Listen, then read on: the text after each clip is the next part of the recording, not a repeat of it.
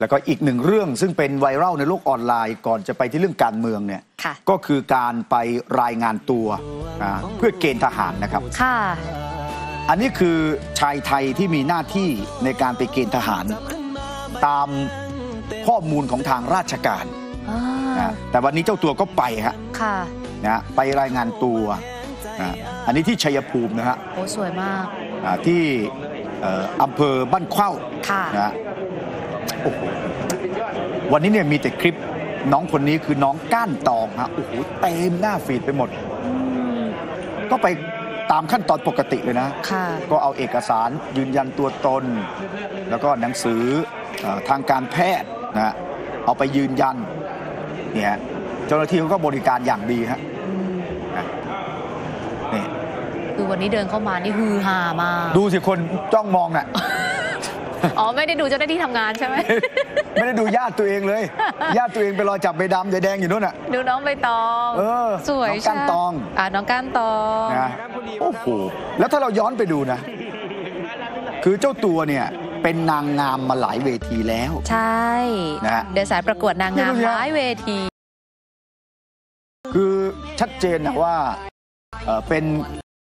กลุ่มหลากหลายทางเพศอ่านะซึ่งทั้งหัวใจนะ แล้วก็ร่างกายของเธอตอนเนี้ยเอ่อก็ไม่ใช่ผู้ชายอะใช่ค่ะนะดูสิฮะแล้วเคยอันนี้คือหลายเวทีเลยนะบางที่เวเคยทีประกวดมานะงกุฎด้วย คือเดินสายอะพูดง่ายค่ะ ๆนี่ก้านตองพัสราพรนะฮะอื้อหือโอ้โห พี่หนุ่ม นะสุดยอดเลยอะนี่เอาหลาย ๆ เวทีมาให้ชมฮะอ่านี่ผมเปิดให้คุณกนกดูเลยนะเนี่ยหรือเปิดให้ตัวเองดูโอ้โหดูสิฮะโอ้สุดนี่ยอดหลายเวทีค่ะฮะอ่า น้องก้านตองนะคะ คือทั้งร่างกายและหัวใจอะนะมาหลายเวทีมากนะ ค่ะ แล้วใส่ชุดอะไรก็สวยอะ ใช่ จะชุดไทย ชุดนอก ชุดราขนาดตรีวันนี้ชุดที่ไปเกณฑ์ทหารยังสวยเลยอะ ชุดไปเวทเนาะเสื้อยืเออดเสื้อสีขาวกางเกงยีนอะ แค่นั้นเลยอะมินิมอลมากสวยใช่นะฮะแล้วเธอชนะมาหลายเวทีนะ ค่ะอ่าอย่างเช่นเวทีทิดาลุ่มน้ำโขงนะ ฮะอ่าที่หนองคายปีที่แล้วอันนี้คือได้มงมาด้วยเนี่ยเนี่ยคือได้มาหลายเวทีเมื่อสักครู่เนี้ยนะค่ะฮะก็สวยมากอะแล้ววันนี้ก็ไปเข้าสู่กระบวนการเกณฑ์ทหารค่ะนะฮะแล้วสุดท้ายก็แน่นอนนะอ่าก็ไม่ผ่านการตรวจร่างกาย ก็ถือได้ว่าได้ทำหน้าที่แล้วฮะเนี่ย สู้ๆค่ะเชื่อว่ามาเกณฑ์ทหารในปีนี้ด้วยนะคะ ก็สู้ๆค่ะเชื่อว่าถือว่าเป็นการรับใช้ชาติแล้วก็ทำตามระเบียบของเอ่อหลักของประเทศอย่างเงี้ยก็ฝากด้วยนะคะมาเกณฑ์ทหารสวยมากเลยค่ะด้วยนะคะคือเอ๊ะเราต้องแก้กฎหมายไหมแก้กฎหมายอะไรคะคือไม่ว่าจะเป็นคนข้ามเพศก็มีโอกาสเป็นทหารได้ เพราะทุกทวนนี้ทหารเนี่ยทำหลายหน้าที่นะ ไปทำฝ่ายประชาสัมพันธ์ก็ได้นะอ๋อ ใช่ให้กองใช่ไหมทัพใช่ไหมคะเออเสียดายบุคลากรน่ะค่ะแต่ว่าไม่ใช่เอาไปฝึกแล้วเอาไปนอนรวมอะไรอย่างนี้ไม่ใช่นะ ก็ต้องแยกแยะอ่าเพราะว่าเขาเป็นกลุ่มคนหลากหลายทางเพศไง ใช่ใช่เห็นไหมอะพูดอย่างนี้เจ้าตัวอาจจะไม่ชอบใจนะ แต่น้องดูมีศักยภาพไงคะสวครับยส่วนคนอื่นๆฮะช่วงนี้เป็นช่วงของการเกณฑ์ทหาร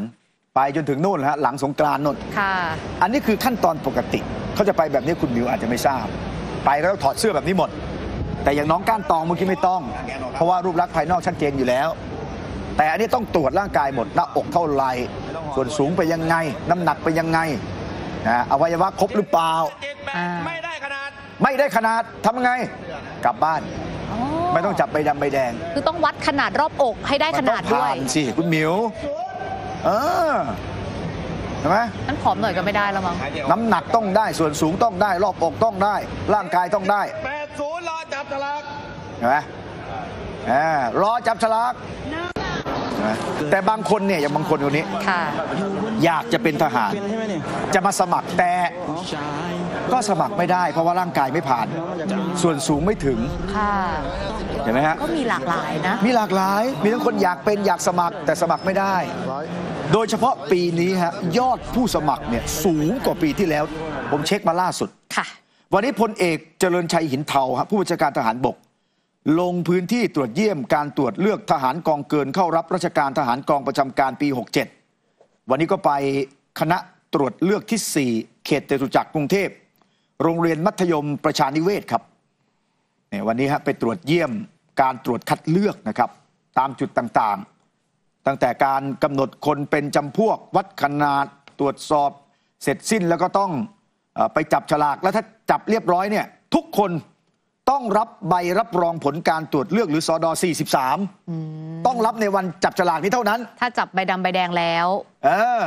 จะไปทำแบบที่สสก้าวไกลอ้างอะไม่ได้ ถ้าต้นขั้วอยู่ครบแปลว่าไม่ได้จับใบดำใบแดงกล้าพูดนะ นี่ปิดสมัยอยู่นะ เปิดสมัยเมื่อไหร่เนี่ย คดีเปิดเลยค่ะนะฮะแล้วท่านผบทบวันนี้ก็ได้มีการเปิดเผยฮะว่า ปีเนี้ยมีการสมัครเยอะกว่าปีที่แล้วอ่า ช่วงปีที่วันที่ผ่านมาเนี่ยวันที่หนึ่งวันที่สองที่เริ่มมานะ ผู้ร้องขอเป็นทหารในวันตรวจเลือกเนี่ยรวม